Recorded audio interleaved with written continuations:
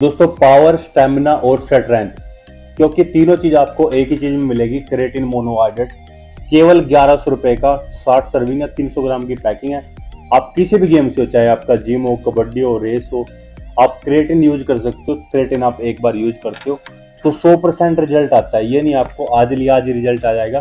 पंद्रह दिन के बाद क्रिएटिन का रिज़ल्ट आना शुरू होता है। अगर सप्लीमेंट से जुड़ी जानकारी के लिए हमें फॉलो करें सब्सक्राइब करें हमारे इंस्टा और यूट्यूब को।